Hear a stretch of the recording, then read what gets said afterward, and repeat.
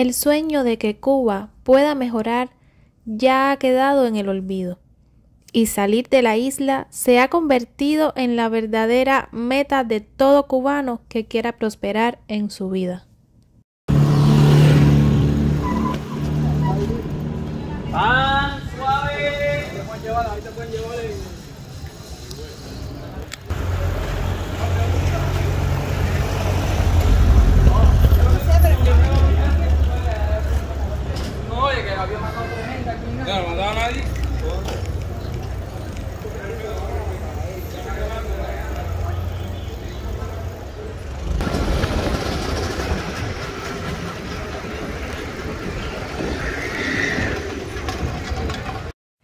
Los cubanos emigran porque la situación del país los empuja a ello, porque son décadas viviendo en la misma situación y ahora en los últimos tiempos está mucho peor.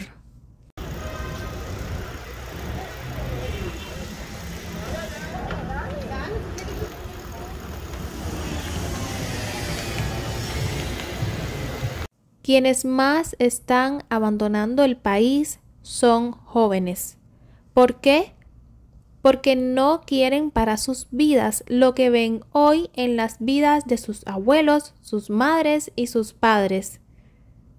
Hace unos días estuve leyendo en Internet que se estima que para el año 2025 un 25% de la población de Cuba sea de una edad superior a los 60 años lo que convierte a la isla en uno de los países más envejecidos de América Latina.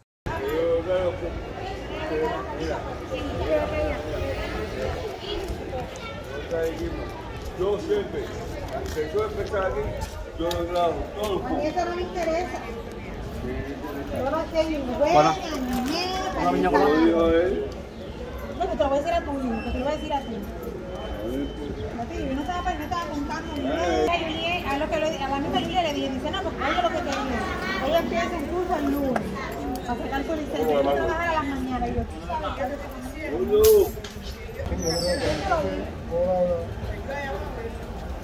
Aquí, aquí, yo soy regalo. Aquí hay un, aquí hay un Yo soy regalo. ¿Entendiste? Yo soy regalo. Ya, ya, ya. Aquí.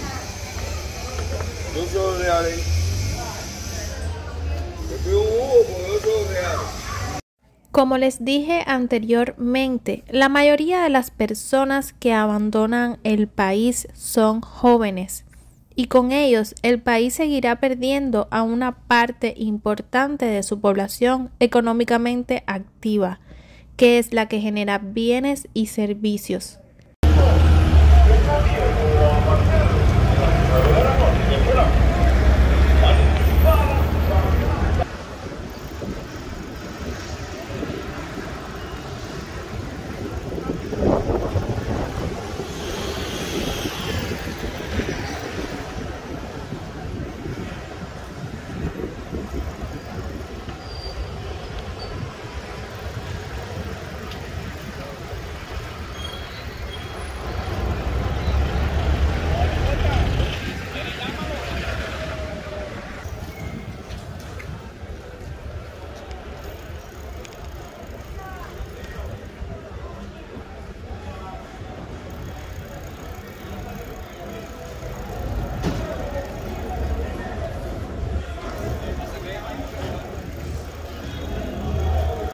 El sentimiento general de la población es de depresión y desánimo.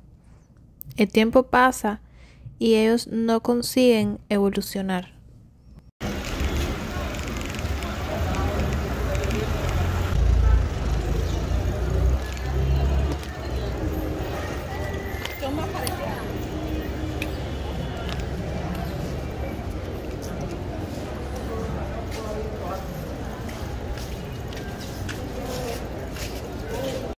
Los cubanos nos resulta muy difícil poder encontrar y comprar productos a los que cualquier persona del mundo puede encontrar libremente en la calle. La escasez y los precios de los alimentos son cada vez más angustiantes para las familias cubanas. Aunque ahora con las nuevas MIPIMES hay más variedad de productos, es decir, que en estas tiendas podemos encontrar más cosas que antes no veíamos o que resultaba mucho más difícil conseguir. El problema está en que el dinero no nos da para poder comprar en estas tiendas. El salario promedio de unos 4 mil pesos no nos alcanza para poder comprar la comida del mes en estas MIPIMES.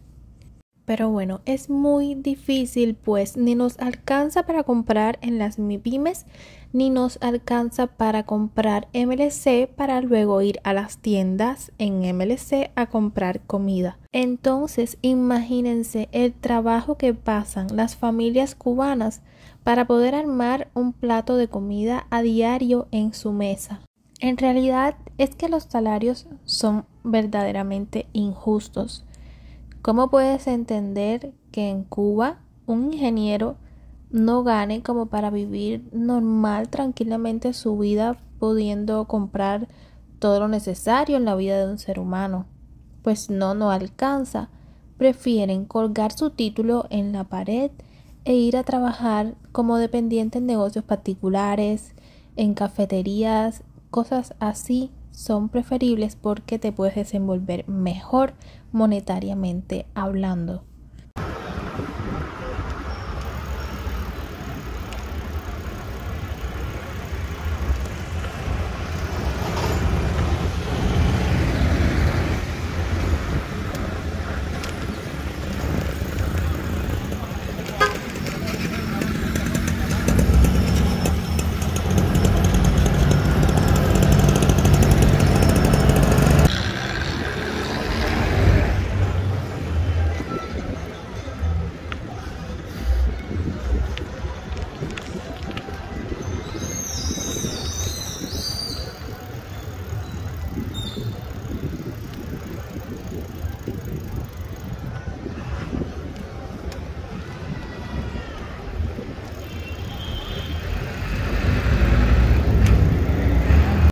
Y bueno, ya saben, como de costumbre, les voy a pedir que si han visto el video hasta aquí, pues nos comenten una banderita cubana para nosotros saber que vieron el video hasta este momento. Les damos las gracias, muchas gracias por vernos, por apoyarnos.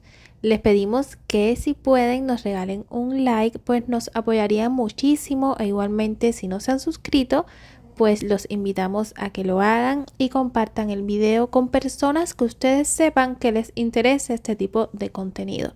Así que nada, ahora los vamos a dejar con lo que queda de recorrido, imágenes con su audio 100% real, así que bueno, disfrútenlo. Hasta el próximo.